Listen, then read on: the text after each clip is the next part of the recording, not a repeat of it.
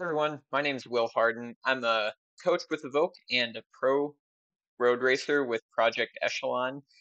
This is day number four of the Gateway Cup 2023. It's a pretty gnarly course, pretty fun. We're gonna jump right in to the first lap here. Jumping through start finish line, they've called the la- the race short, so they cut off five laps at the end of the race due to a storm rolling in winds are howling. Everybody's getting a little nervous because the race is ending earlier than expected. I'm going to try and move my way up. I just went from 30th wheel to close to 10th wheel there into the last corner, but everybody else is doing the same thing. So that Butcher Box guy almost lost it on the outside. I'm going to lose a few positions, trying not to crash into the back of him, and then I'm going to have to make those positions back up throughout this lap. You can see all the corners in the bottom left there. There's a right-hander coming up. They had a lot of potholes in these corners. I'm going to move up through as many of the corners as I can, but a lot of people are chopping me here. So I've lost some wheels already. This guy on the left, Cesar Marte on the white, he actually ended up getting second for the race. So keep an eye on where he goes and where I go in relation coming through this corner, nice and smooth, super fast corner. Could get pushed into that curb. You see everybody exiting into that curb. So something to keep out for. I see uh, Juan Arango moving up on the left for Denver Disruptors here. So I'm going to try and hop on that wheel, jump on his wheel, and Noah Granigan, his teammate's wheel there. Another ACG rider jumps on their wheel. So I'm going to hop that train, try to follow it as far up as I possibly can the people on the front, the Blazers, they're trying to defend that corner, and it's making the race move side to side a good bit.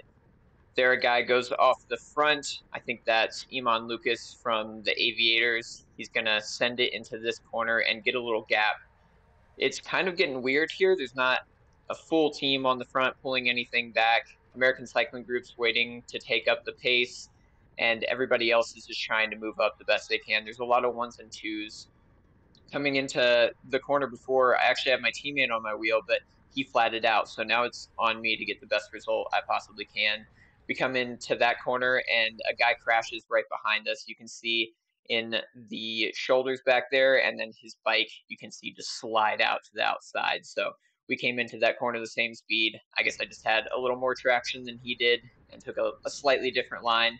Jumping right back in here. There's a few corners left. It's getting really tense it's on us to move up as fast as we possibly can.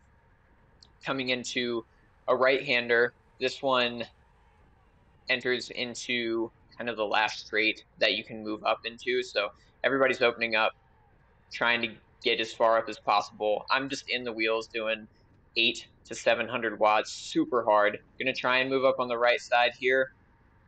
And yet I'm gonna try and save energy at the same time, hoping I can I can move up at a critical point. It's really bumpy on the outside, so I'm just getting bumped around.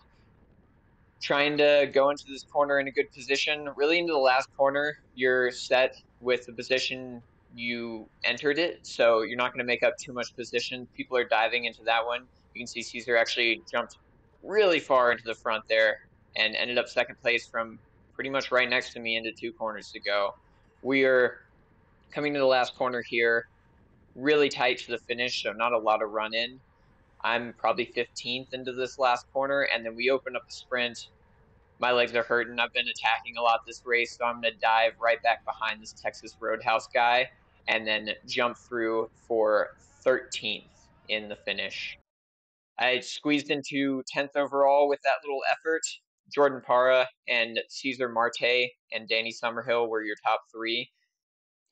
You can find me on YouTube at Will Hardin and contact us at evoq.bike. Thanks for watching.